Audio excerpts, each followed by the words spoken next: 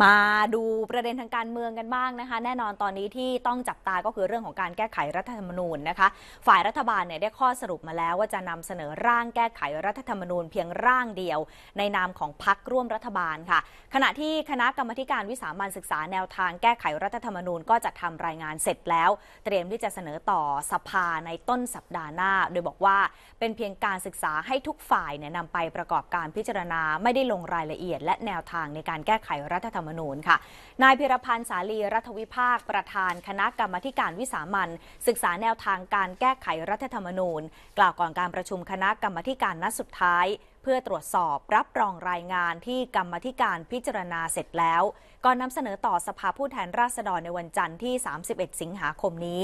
พร้อมเปิดเผยเนื้อหารายงาน จะเป็นผลการศึกษาข้อดี ข้อเสียและแง่มุมต่างๆ ทั้งการให้แก้ไขและไม่ให้แก้ไข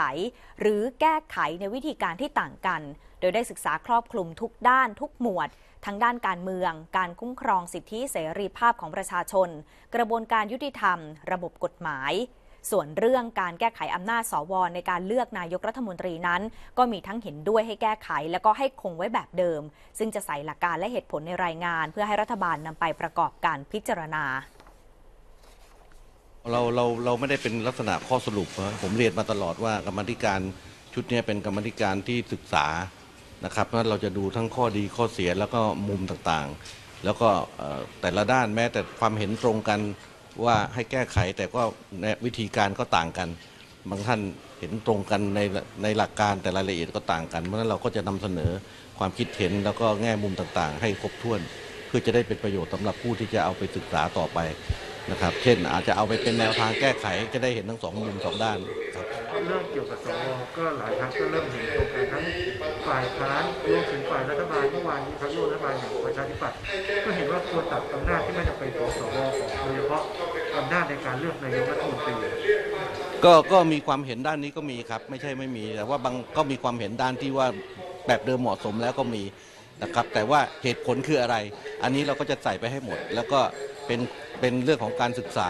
นะครับ แล้วก็คนที่จะเอารายงานเราไปศึกษาต่อไปก็ได้เห็นเหตุผล แล้วก็ไปพิจารณากันอีกทีหนึ่งครับ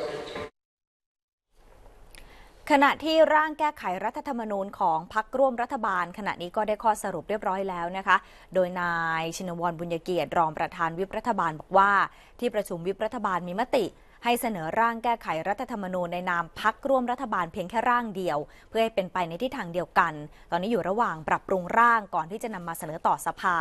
โดยยึดหลักการแก้ไขมาตรา 256 เพื่อเปิดทางให้มีสภาร่างรัฐธรรมนูญ แต่ว่าจะเพิ่มรายละเอียดที่มาของสสรก็คือ มาจากการเลือกตั้ง 150 คน และอีก 50 คนสรรหาจากกลุ่มต่างๆ รวมทั้งตัวแทนนักเรียนนักศึกษากำหนดกรอบเวลาการยกร่าง 240 วัน ส่วนเรื่องอำนาจหน้าที่ของสวก็ขึ้นอยู่กับสสรเป็นผู้พิจารณาค่ะ ด้านนายวิษณุเครืองามรองนายกรัฐมนตรีบอกว่าได้รับร่างแก้ไขรัฐธรรมนูญของพักร่วมรัฐบาลแล้ว แต่ว่ายังไม่ได้เข้าไปดูในรายละเอียด ยืนยันนะคะว่าจะเปิดให้วิปรัฐบาลไปดำเนินการเรื่องการแก้ไขรัฐธรรมนูญเอง เพื่อจะได้เป็นที่เห็นพ้องร่วมกันของพักร่วมรัฐบาล แล้วก็ยืนยันว่าตอนนี้ยังไม่ยังไม่มีร่างในส่วนของรัฐบาลค่ะ